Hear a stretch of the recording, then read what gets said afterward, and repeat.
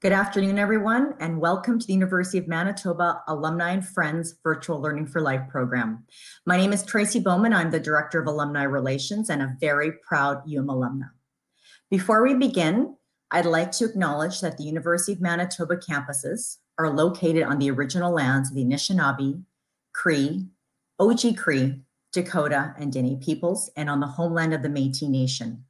We respect the treaties that were made on these territories we acknowledge the harms, the mistakes of the past, and we dedicate ourselves to move forward in partnership with Indigenous communities in a spirit of reconciliation and collaboration.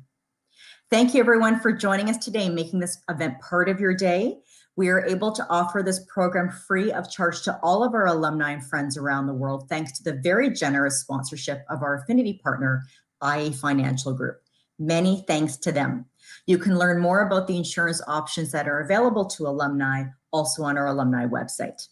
So before I introduce today's speaker, just a few housekeeping details. Today's session, as per usual, is being recorded. Uh, and to follow this, we will be sending you a link to the session so you're able to view it a number of times again, as well as share with friends and family. All of our sessions from the past 15 months are on our website. There's lots of great content content, well over 30 sessions. So we encourage you to go there as many times as you'd like to see all of those sessions. We also sent you a link to Slido and the password. That is the platform we use uh, to take questions from our audience. So that is slido.com and the password is VL FL21. So I encourage you to actually bring up a, another page on your browser so you can just log right in. So as soon as a question comes to your mind during the presentation, you're able to ask that right away and I'll be monitoring that in the background. Please ask as many questions as you like and we'll try to get through as many as we can uh, over this next hour. So now I'm delighted to introduce today's presenter, Dr. Annette Desmarais, on the topic of why does food sovereignty matter? Now, let me tell you a little bit about her. Dr. Desmarais is a Canada Research Chair in Human Rights, Social Justice, and Food Sovereignty. She's the author of La Vía Campesina, Globalization and the Power of Peasants in 2007, that was published in French, Spanish, Korean, Italian, and Portuguese. She's also co edited Food Sovereignty Reconnecting Food, Nature, and Community in 2010, and Food Sovereignty in Canada Creating Just and Sustainable Food Systems in two, uh, 2011. Now, prior to obtaining her doctorate in geography, she was a small scale cattle and grain farmer in Canada for about 14 years. Uh, and she's also worked as technical support for the organization I mentioned earlier for a decade and continues to conduct participatory research with member organizations of this transnational agrarian movement. So with that, over to you, Dr. Desmarais. Okay, well, thank you. Thank you very much. Um, and I apologize in advance for the um, the, the, not so great camera. Um, I'm doing this over the phone uh, because we had some technical problems with uh, computers. So, um, good afternoon, everyone. Uh, I want to thank the organizers of this series for inviting me uh, to speak to you today on why does food sovereignty matter. Now, um, the recurring food crisis and climate change and the growing awareness of the actual public uh, disaster caused by the global food system clearly highlight the need for alternatives.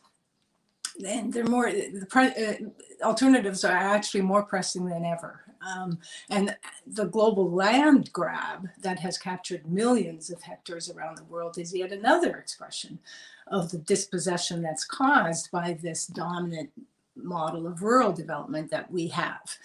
Um, yet another, of course, is the persistent number of um, hungry people living in the world, the overwhelming majority of them who live in the countrysides of the world. But the question is then, what does a radical alternative look like in this current context? We can call it a rad- radical or we can call it common sense. Either way, it's got to be transformatory. That is, the alternatives that we work on must aim to transform the existing and unjust social and political structures and relations that we've established. And this means that the alternatives need to tackle really important issues like wealth, impoverishment, that is, the processes that make people poor. And of course, we need to tackle power. So many people argue that food sovereignty is one such alternative and that it actually represents pathways through, through that lead us to socially just and ecologically sustainable food systems. But what the question is then, what is food sovereignty?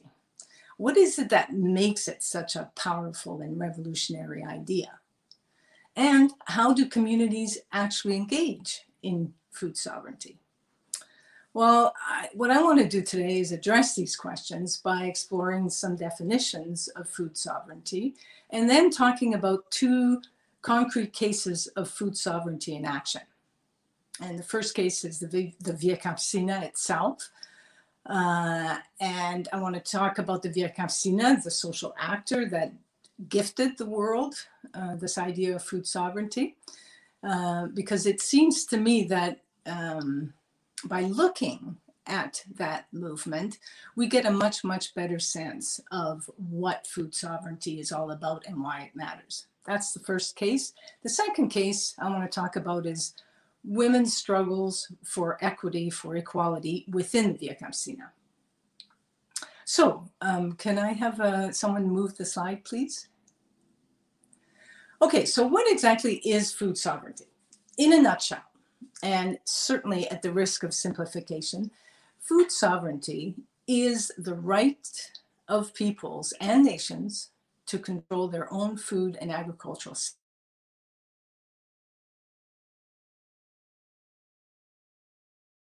including their own market, their food culture, and environments. Now, this really, really concise definition, of course, only hints at the complexities involved in food sovereignty. And when the Via Campesina first introduced the idea of food sovereignty at the World Food Summit held in Rome in 1996, they did so as a counterforce to the increased globalization of a neoliberal model of agriculture that was leading to increasing displacement, dispossession, and impoverishment in the countryside. It was a model that was devastating rural landscapes around the world, and most importantly, it was a model that was really um, gearing uh, or geared to the extinction of peasant agriculture, small scale agriculture, and it was also geared to the ex extinction of peasants themselves. Uh, can I have the other slide, please? So instead, what the Campesina did was at that time, in 1996, they proposed food sovereignty as a way of building a future without hunger. And it, this, this idea uh, rested on uh, seven key principles. First, that food must be considered, first and foremost, a basic human right uh, food sovereignty necessitated the redistribution of resources, so uh, of food producing resources. So agrarian reform was absolutely fundamental. It was also um, based uh, on the idea that you absolutely needed to protect uh, all natural resources. It required a fundamental reorganizing of, organize, uh, of agricultural trade so that we would be talking about uh, fair trade instead of uh, a, a market-based uh, global agricultural trade that was not favorable at all to small-scale farmers. Another key principle was that the goal of the development model was to end global hunger. Uh, two other principles that were key were the establishing of social peace, and lastly, that food sovereignty is fundamentally based on democratic control of the food system. The next slide, please. So by introducing this idea, this, this revolutionary idea of food sovereignty, what the Via Campesina did was actually shift the turns of the debate by moving it away from just talking about food security uh, and uh, to, to talking about food sovereignty. Now, this shift um, was significant because, as Nettie Wiebe here explains, she was a former um, uh, president of the National Farmers Union here in Canada. Food sovereignty was our way of differentiating our agenda from the liberalized agenda. And it was also a way to introduce a much more complex set of ideas about what it really meant to be food secure, which included political power, ideas about who controlled resources, and who has access to resources and who gets to control their own production and their own consumption. So what Nettie is stressing here is is is the Campesina's determination to politicize food systems. And this is the fundamental difference between food security and food sovereignty, because food sovereignty politicizes food systems. So what do we mean when we say that? What does it mean to politicize food systems and why does this matter? Well, rather than just conforming to a corporate model of agriculture, you know, that, that really tried to make us all believe that the only way we can feed the world is to engage in large scale industrial agriculture. And by and in doing that, you constantly focus on increasing production, but you also specifically increase that production for export. So by introducing food sovereignty, the Via Campesina was shifting the discussion to understanding power relations and the politics of food systems. So the next slide, please. So that is, but by arguing, as the Via Campesina did, that we have the right to produce our own food in our own territory, the Via Campesina was saying that food sovereignty focuses squarely on issues related to what food is produced and harvested, that is, what kind of food is produced and harvested, who produces it, who harvests it, where and how is it produced and gathered, and really so important, at what scale is that food produced? And that all of these questions they argued, were, are as important as ensuring adequate and accessible amounts of food. So essentially, food sovereignty entails designing food systems that keep small scale producers on the land and able to make a living from growing food. It's a model of production, a model of distribution and consumption that is environmentally sustainable and fundamentally socially just. And, and I, I have to say here, when I talk about a system, a food system being socially just, um, it, this means that it's a model of agriculture and food that involves the equitable distribution of access to and control over resources. This means access to and control over food producing resources such as seeds, water, land, but it but also um, and also importantly, it considers decision making power as a key resource. So it means giving ordinary citizens the right and obligation to participate in decision making around food. So, in essence, food sovereignty seeks to put the control of the food system back into the hands of ordinary people. So by introducing food sovereignty, the Via Campesina was prompting people to debate, to get into debates about and, and, and issues and questions about who was making all these really important decisions about food and agriculture. And of course, uh, whose interests were, were being served. So in many ways then, many people argue that food sovereignty is actually best understood as a radical democratic product, uh, project that, on the one hand, exposes the power dynamics within the current global food system, But then on the other hand, food sovereignty creates all kinds of new spaces, you know, at all levels, whether it's in a public school, a university, a municipal council, a national government. It creates all kinds of spaces for inclusive debate on a whole set of different issues related to food, agriculture, and provisioning. So next slide, please. So as the food sovereignty movement expanded beyond those involved in just the Via Campesina, and, I, and I'm going to explain the Via Campesina in a bit, um, the global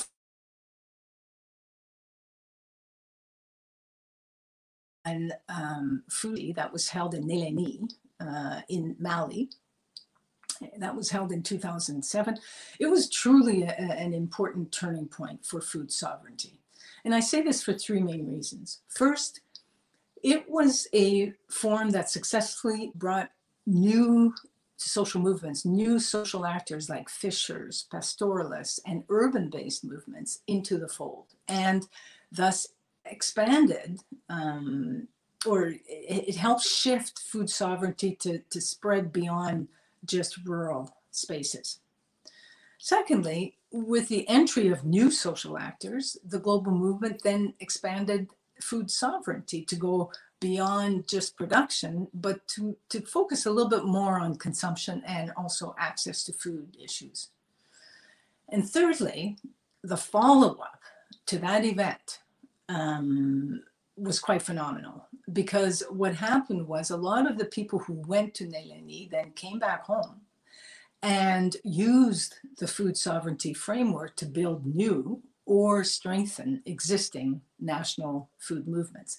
And a really good example of that actually is the strengthening of uh, Food Secure Canada that occurred um, uh, after Nyéléni and you know, also other examples are um, the expanding food sovereignty movements in Europe and the United States. So those who participated in the, in the Nyéléni um, reached consensus on probably what is uh, now become the best known um, definition of uh, food sovereignty as resting on six pillars and that is um, they're on the right of, of the slide there, it, that food sovereignty focuses on food for peoples uh, as opposed to food for machines. Uh, it values food producers. It localizes uh, food systems. It puts the control of food at the local level. It builds knowledge uh, and skills, and it works with nature rather than trying to control nature. And what's really interesting is that in Canada, um, a seventh pillar, remember I mentioned the Food Secure Canada? Well, within Food Secure Canada, there was a really active Indigenous circle. And as a, it was a result of their participation, their contribution, that the Canadian food, um, food movement included a seventh pillar, and that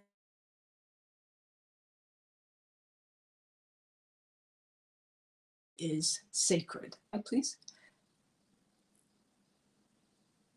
Um, so the late um, Cathleen Kneen, who was the former leader of Food Secure Canada, she summed it up um, as follows. If food is sacred, it cannot be treated as a mere commodity, manipulated into junk foods and, and taken from people's mouths to feed animals or vehicles. If the ways in which we get food are similarly sacred, Mother Earth cannot be enslaved and forced to produce what we want when and where we want it through our technological tools. And if food is sacred, the role of those who provide food is respected and supported. So, but you know, what do these definitions the next uh, uh, explanations, um, do they actually do justice to what food sovereignty is all about? To its potentials? Does it do these definitions talk to or uh, you know show us um, or point to the challenges, the limitations of food sovereignty? I think that to really better understand food sovereignty, we have to look carefully at the social actors involved. And I say that because understanding how food sovereignty emerged helps us gain a much more nuanced understanding of what it's all about. After all, concepts that are really um, revolutionary in that they really lead to social change, they often do not appear in a vacuum, kind of as disembodied intellectual exercises. Instead, let's remember that food sovereignty is a deeply, deeply grounded idea. Uh, it embodied initially in the very lives and struggles of farmers and peasants, rural women, indigenous peoples, and farm workers in the global north and the global south. And then it became the concept, the idea was then later on reworked somewhat in interaction with uh, urban based movements. Now, this embodiment in the day to day struggles of both urban and rural uh,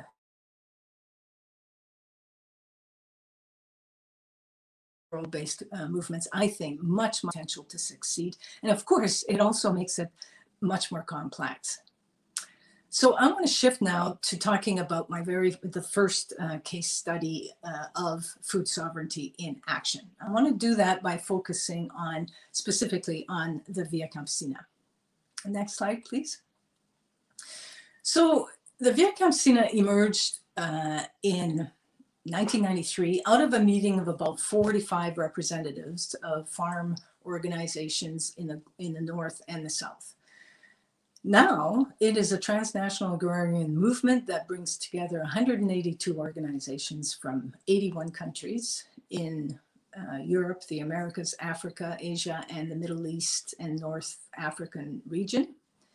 It's estimated that they represent over 200 million people, and it is now considered by many to be the world's largest and most powerful transnational agrarian movement.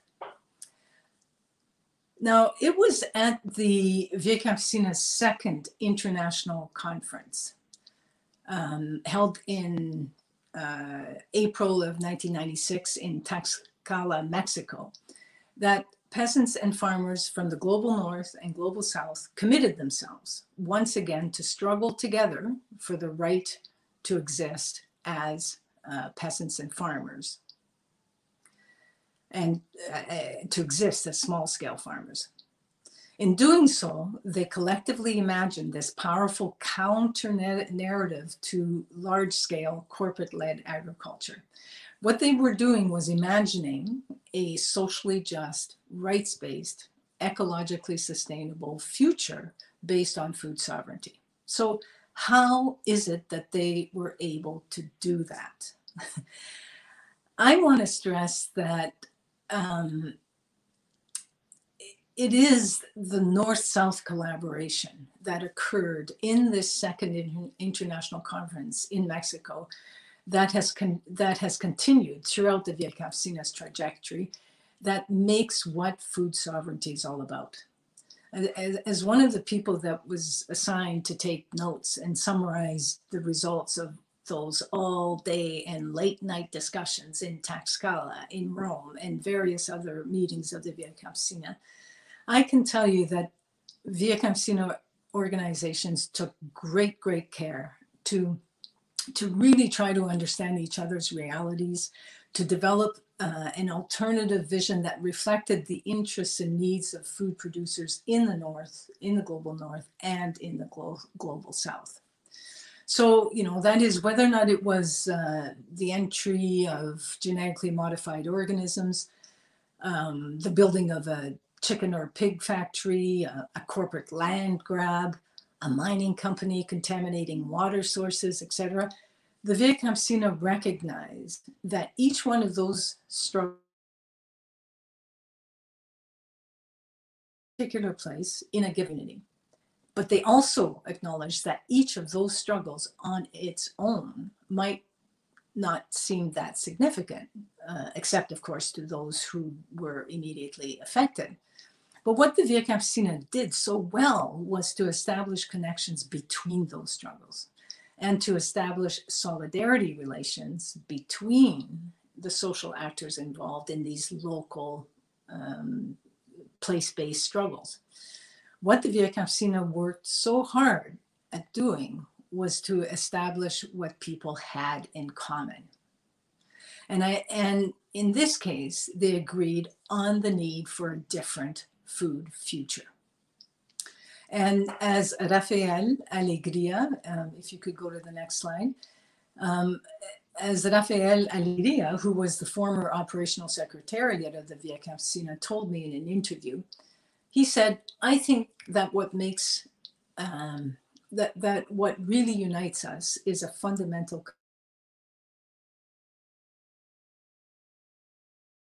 to humanism, because the S is individual and materialism. The common problems of land production, technology markets, ideological formation, training, poverty, etc., all of these we have in common. But what also unites us are great aspirations. We are all convinced that the current structures of economic, political, and social power are unjust and exclusionary. What unites us is a spirit of transformation and struggle to change these structures all over the world. We aspire to a better world, a more just world, a more humane world, a world where real equality and social justice ex exist.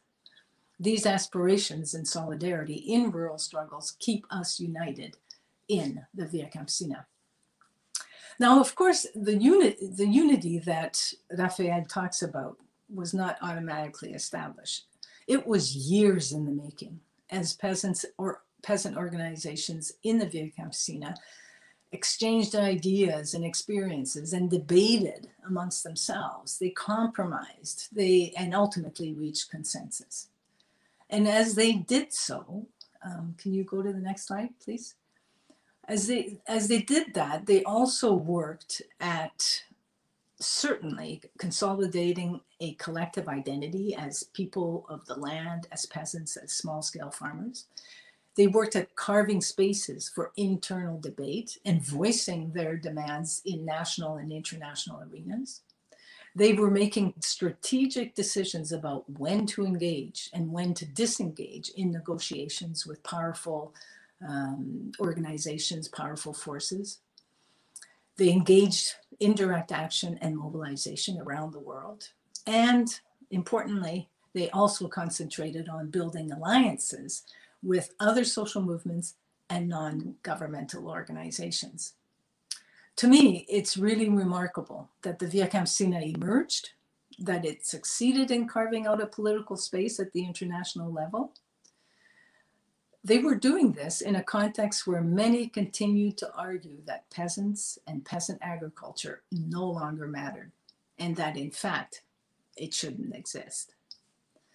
The next slide, please. So it is quite remarkable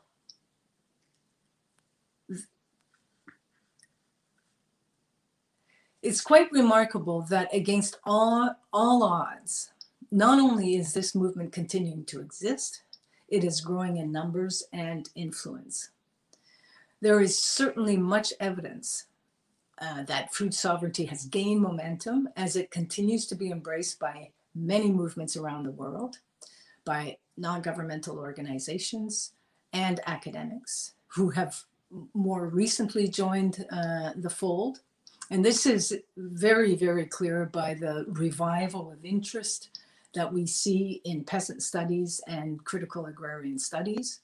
Now you find academic journals in a wide range of fields and disciplines ranging from geography, anthropology, political science, food studies, philosophy, and science that are, you know, talking about um, uh, uh, various elements of food sovereignty. There's also a vibrant and growing indigenous food sovereignty uh, literature and movement. And meanwhile, large international scientific studies argue the validity of food sovereignty. And importantly, after a 20 year struggle, the Via Campesina's food sovereignty model is now backed by a number of rights articulated in the new International Declaration of the Rights of Peasants and Other People Working in Rural Areas, the UNDROP. And that was a declaration that was officially recognized by the UN in December of 2018.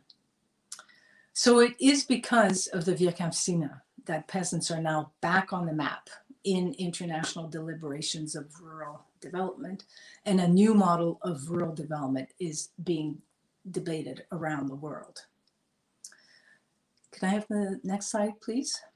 So in many ways, it was in developing its concept of food sovereignty that the Via Campesina reached this unity within diversity that Rafael Alegria was talking about.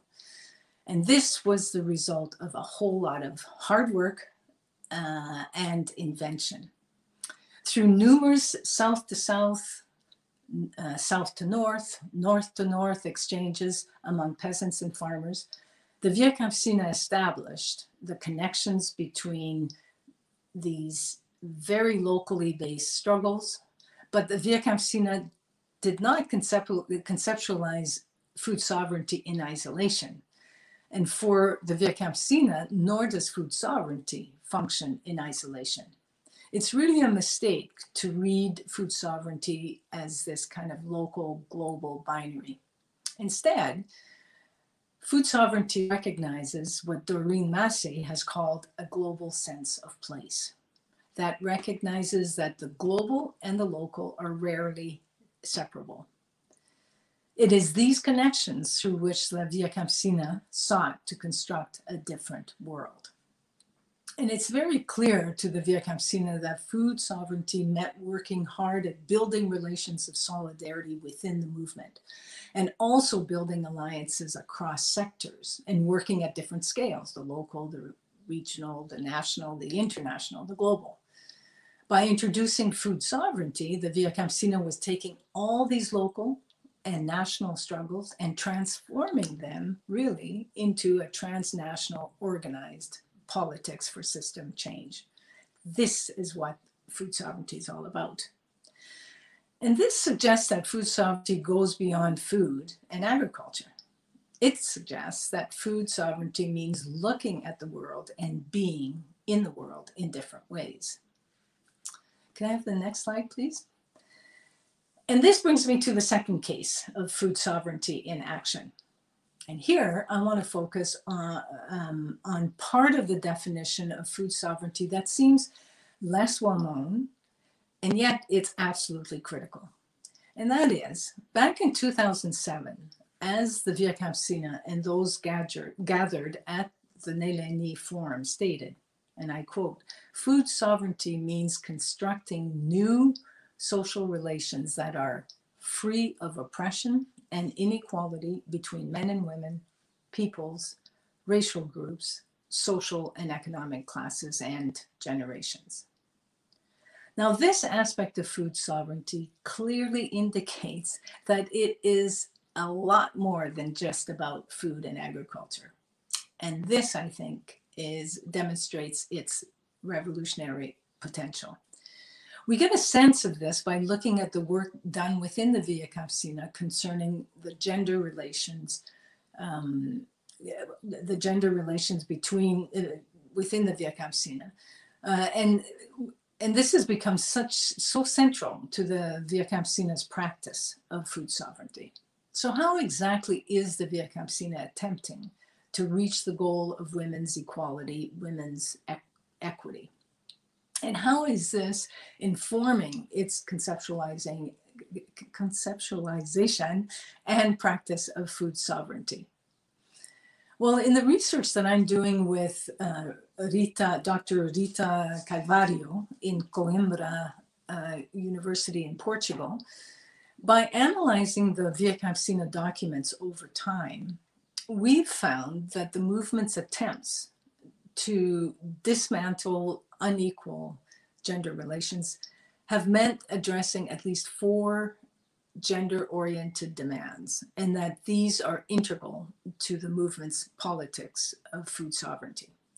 So, in efforts to change unequal gender relations within the movement and beyond, the Via Campesina has concentrated on ensuring women's equitable access to and control over productive resources and social rights, um, guaranteeing uh, women's equal participation in agrarian, rural, and food politics. They've concentrated on ending all forms uh, of violence against women and also they're focusing on constructing new gender relations. And as someone who attended, um, who has attended every one of the Via Campesina's international conferences, I can attest that for the Via Campesina, food sovereignty has come to include these demands as a largely as a result of the hard collective work, innovative strategies, and persistence of women within the movement. Now we get a good sense of how the Via Campesina connects gender, feminisms, and food sovereignty by examining the declarations of the women's assemblies, the youth assemblies, and the international conferences of the Via Campesina um, that have occurred uh, be, um, between 1996 to 2017. So can I have the next slide, please? So a close reading of these documents uh, reveals that feminist work within um, the Via Campesina has been incremental, uh, yet very powerful. Starting from when the Via Campesina was first formed, the first action plan coming out of its you know, founding conference in Mons, Bel- Belgium, it did recognize men and women's right equal rights to land women's important roles in peasant organizations, and also it recognized the need for, to guarantee women's full participation. But even though women represented 20% of the conference delegates at that meeting, only men were elected as leaders. And women peasants or farmers are mentioned only once in the resulting Mons Declaration and no mechanism was established to ensure greater participation of women. So it was only um, since the second and third international conferences of the Via Campesina that the, that the movement took concrete actions in attempts to effectively integrate women and gender issues more fully into the movement and um, its politics. So let me explain what happened uh, at those two conferences because they really are critical in that they fundamentally shaped women's inter- in- integration into the movement. So at the second international conference uh, held in Tlaxcala, women delegates pushed the Via Campesina to take concrete action to address gender inequalities. Women were particularly concerned that the movement develop a mechanism, some, you know, some ways that could best ensure women's increased participation and representation. And what they ended up doing was agreeing on the formation of a special committee only composed of women whose work was to develop a plan of action and you know and also um, be key in establishing coordination and communication ties among women around the world. So the next slide. So um, I want to stress here that women did not consider this committee as an end in and of itself. They rejected the idea of kind of ghettoizing women's struggles they did not see themselves as a women's auxiliary to the movement. Instead, women saw the formation of a women's only space as one strategy through which women's concerns and interests could be integrated into the Via Campesina's discourse, into their demands and actions. And the Women's Committee also, you know, did a number of, thing, of things. They promoted the organization of women's meetings immediately prior to major international events, where, whenever and wherever the Via Campesina delegations uh, convened. Uh, they decided to organize international women's assemblies to occur right before each one of the larger, all encompassing Via Campesina international conferences. And these international conferences only occur every four years. They're the highest political decision making spaces within the, the movement. And it was really uh,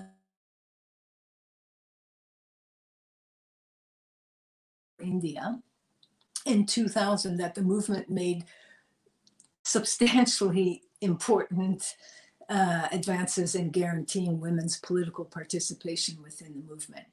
And what they, they did that by changing the organizational structure of the movement to introduce gender parity in the leadership positions.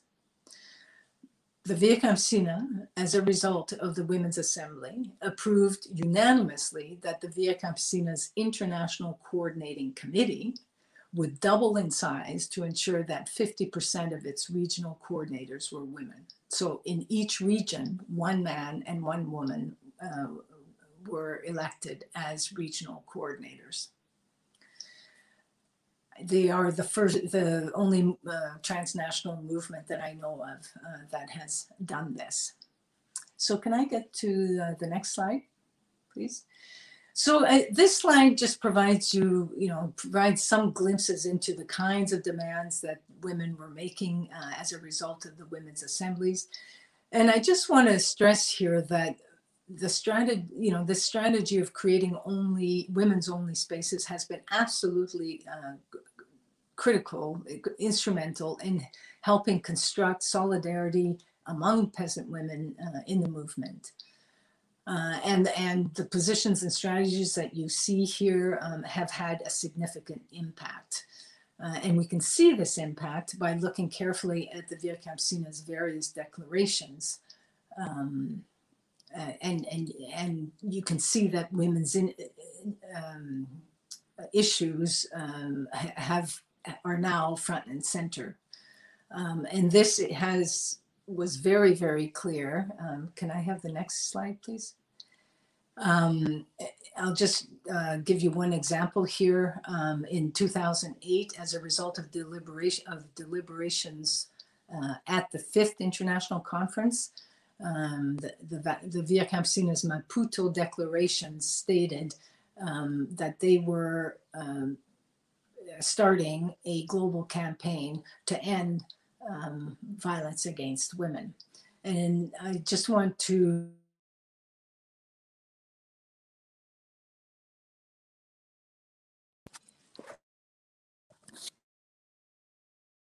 am I still here? okay, I'm sorry about that. Somebody was trying to call me on my phone. Um, so I just wanted to point here that, um, you know, this quote, if we do not advance against women in our movement, we will not advance in our struggles. And if we do not create new gender relations, we will not be able to build a new society. So I'm I'm realize that I'm running out of time. So um, I'm just gonna ask that uh, you move the slide to. Um, let me just see here. Um, to the to the next one, please. To also to the next one. There. Okay, um, you know, I've, I've given you lots of various definitions and, and you've seen that, um, you know, it, it, the definition has changed um, of, of food sovereignty has changed, it's evolved. And I think that um, th this quote from Elizabeth Mpofu, who is the general coordinator of the Via Campesina, provides some really important insights into why it is that the you know, you see some changes, some constant changes in what food sovereignty means um, around the world. And she says, um, you know, some academics and analysts were concerned that the Via Campesina seems to have a new and different definition of food sovereignty after every meeting and forum.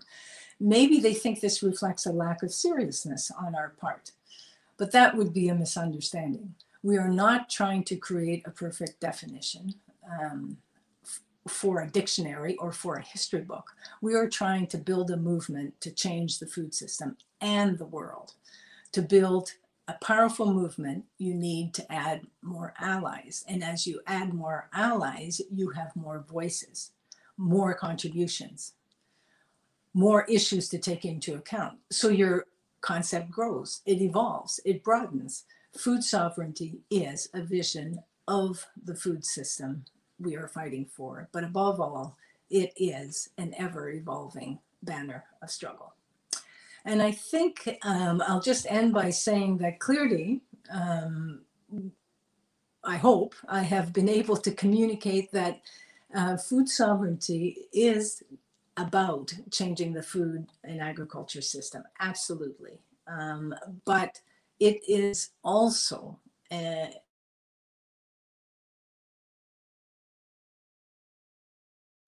about the other things world and pre- predominantly changing social relations.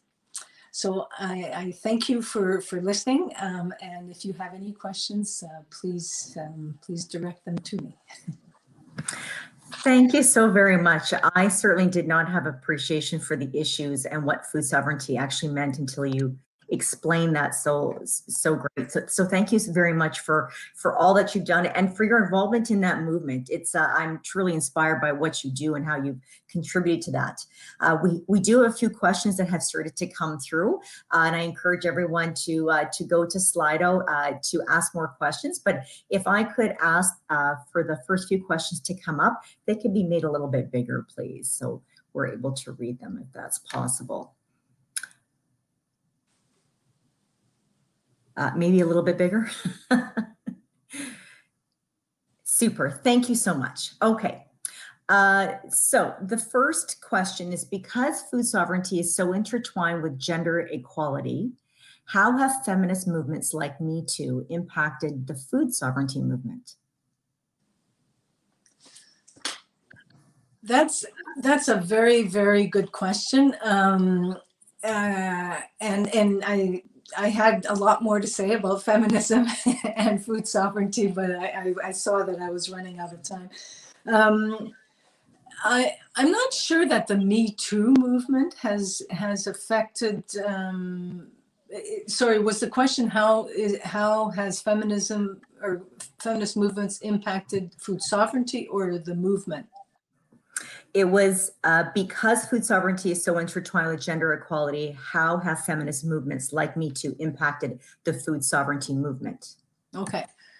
Um, well, that's interesting because a lot of um, uh, there's been quite some debate recently about whether or not food sovereignty is feminist, um, and I think that that's that's certainly why uh, Dr. Rita Calvario and I um, have have you know really wanted to dig into this this question uh, of the the links between feminism and food sovereignty because there really wasn't very much research um, demonstrating uh, those you know the feminist issues that that were being raised within the movement. And um, one of the things that was uh, obvious in the work that we've done is that urban based feminist movements um, you know have have have been active internationally for for for some for some time. I mean, you know, since the UN dec- uh, decade of women, and I can't remember exactly when that was. That was quite some time ago. But since then, there's been like there have been global connections made um, between women's movements, uh, you know, for years, decades. Mm-hmm. But rural women were were not really. I mean, there's always been some, excuse me, some discrimination. Um, you know, be, be, the, in the, there's been some discrimination uh, of rural women in that you know often um, they are thought of as being more backward, um, you know, etc. And so there's been a kind of a separation between the urban and the rural, and and I think that food sovereignty has helped uh, build, you know, stronger ties um, among uh, women, um, and um, there's there's a lot of discussion that takes place now um, between. Uh, urban based women and rural women. And I think that that's led to a much stronger um, you but the women, um, and so I think I'll, I'll leave it at that. Okay, thank you.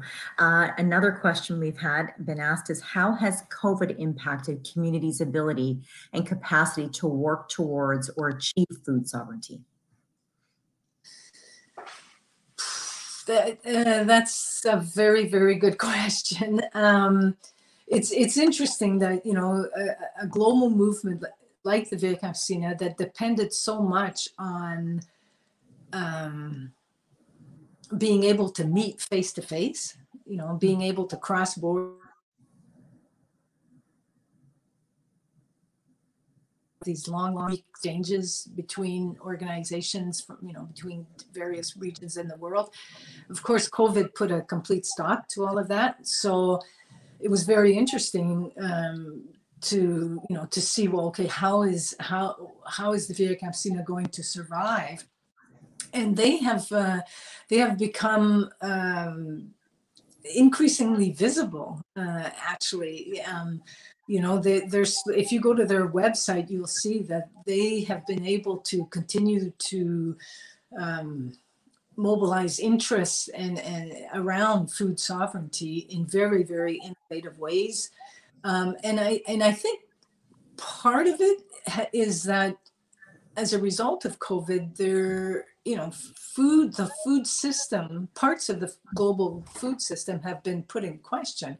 I mean, you know, food wasn't um, uh, going across food uh, across borders as easily as it had been before. There were um, breaks in the in the traditional conventional um, food chain in that uh, meat packing plants were closed down because of mm-hmm. COVID. And so all of that actually led a lot of people around the world to start thinking about local food and how important it is to, to be able to source your food more locally.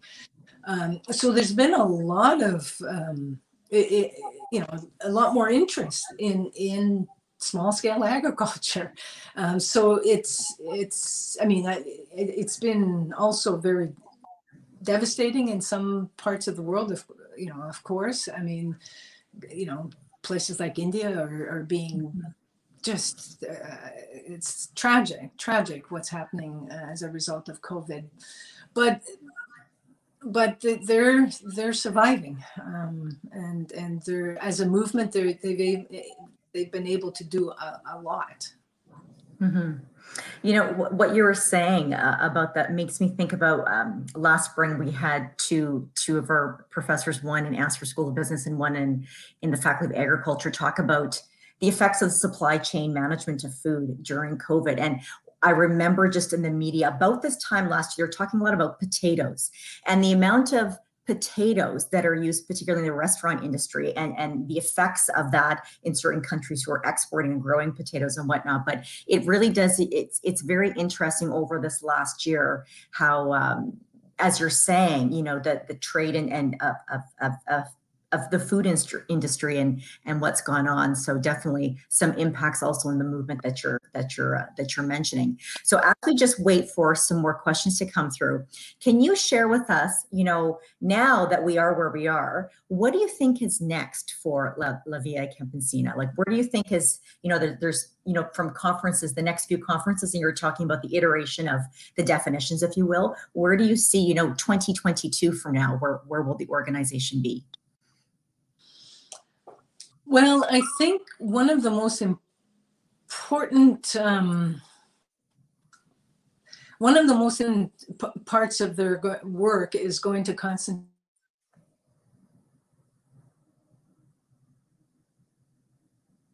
help in drop the duration of the rights of peasants uh, actually is embraced by different countries and and how that's going to be implemented.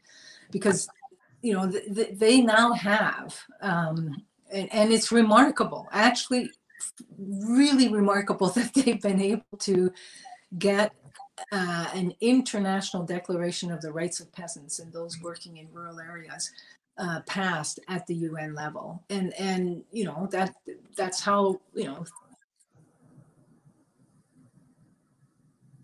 human rights. It started uh, a long time ago as a as a vision of what we want to see in the world, and it's something that we continue to strive to put in to implement. Uh, so I think that that's going to be a really important part of what the Via Campesina does. And I know in Canada, uh, the two organizations that are part of the Via Campesina are, are going to be working on trying to see how Canada, you know, what can, what does this mean for changing food systems in Canada if if we now have a UN declaration that you know that that, that food sovereignty. Do you think that all countries will adopt that UN declaration? Like, how smooth will that that be? Uh, you know, around the world, knowing what you know in various different parts of the world. No, it's it will take. Um, uh, it, it, it it's going to be a real uh, because you know some countries that that uh, said no uh, to this uh, the, the, passing of this at the UN uh, level, uh, you know, were the countries in the developed world: Canada, the U.S., Australia, some countries in Europe, etc. And that's because they they are the ones who are um, who, who, you know who drive the the global food system um, that you know focus scale agriculture production um, in in the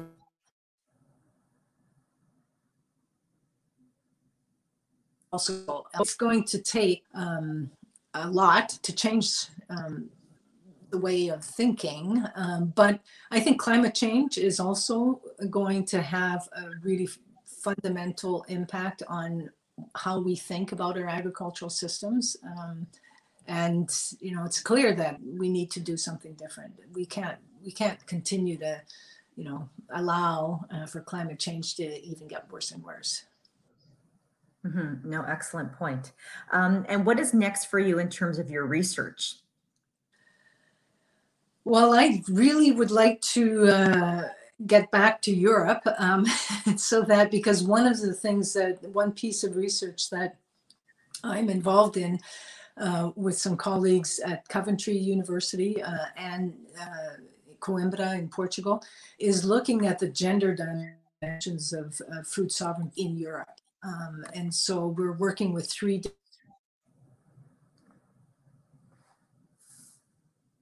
uh, via as a, as a starting point, and then hopefully we'll be able to expand that reach to include other countries. So I'm very anxious to uh, be able to to continue uh, on that research. I'm also involved in um, looking at changing land tenure patterns here in um, on the prairies um, because the way you hold land you know, if you, de- helps determine the model of agriculture that you will use. So we're very concerned about just how big farms are getting. Uh, we're also very concerned about um, how investors are, are purchasing land. And the big problem is that it that's all making uh, food uh, land less available for young people to farm. And so we need to be able to have you know the next generation of farmers. And so we need to think about how are we going to change land legislation so that it makes it easier for young people to get into farming? Mm-hmm. All great, great points and great research. Uh, so I, I wish you good luck for that. And we'll have to bring you back another time because that sounds fascinating. I'd love to hear about all of that. And hopefully you will be able to get to Europe very soon. So you're able to uh, continue to, to connect with colleagues and do your research. So I'll put one last call if there anybody has any questions uh, for Dr. Desmarais. Don't know if there's any more questions. Okay, so with that, thank you so very much uh, for that really interesting uh, and compelling presentation. A lot of information that I know for, for myself, I did not know. I'm sure our audience did, did not as well. Um, so everybody who participated today, thank you very much for being here. We will send you a link as I mentioned. Uh, and for those of us uh, for those of you who didn't have any questions, you can continue to send some questions and maybe we'll uh, be able to get some feedback from you, um, Dr. Desmarais, if, uh, if, uh, if there's any last questions that uh, were not able to be asked. Um, and everybody who's participating, just our very last session for the spring is in two days. So this week was great that we had two virtual learning for life sessions. Uh, we have Dr. Jones with us on Wednesday, who will be speaking on the topic of Public Health History and Pandemic Planning, the Royal Society of Canada COVID 19 Task Force. So if you haven't registered, registered for that yet, I encourage you to do that. Please go to our website. You'll see all the details there. You can register there. So thank you very much, everyone. Have a wonderful day, and hopefully, we will see you on Wednesday.